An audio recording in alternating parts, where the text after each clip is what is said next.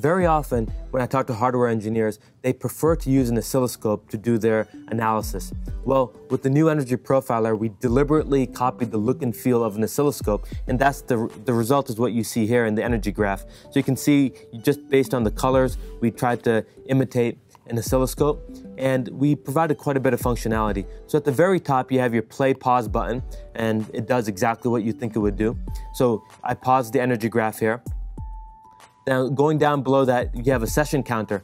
And in this session counter, we show you the critical information. You see average current, average power, total energy, time span of your run, and then you can save, reset, and compare your session um, and see if you're doing better or worse with your modifications. Going around the energy, the energy graph, you can uh, zoom on the y-axis, you can zoom in and zoom out, you can do a log view or a linear view, you have your IRQ button, so you can turn off IRQ notifications or turn them on. If you proceed down the x-axis, you can zoom in on the x-axis, you can zoom out, and then you have this quick view. So right now I'm looking at a one second scale, but I can quickly uh, set that to uh, milliseconds or microseconds just by clicking on this down arrow here.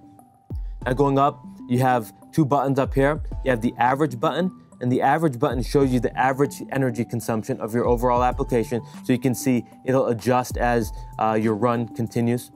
And then you have a volts button. If you click on it, it will tell you the, the, um, the average volts of your application.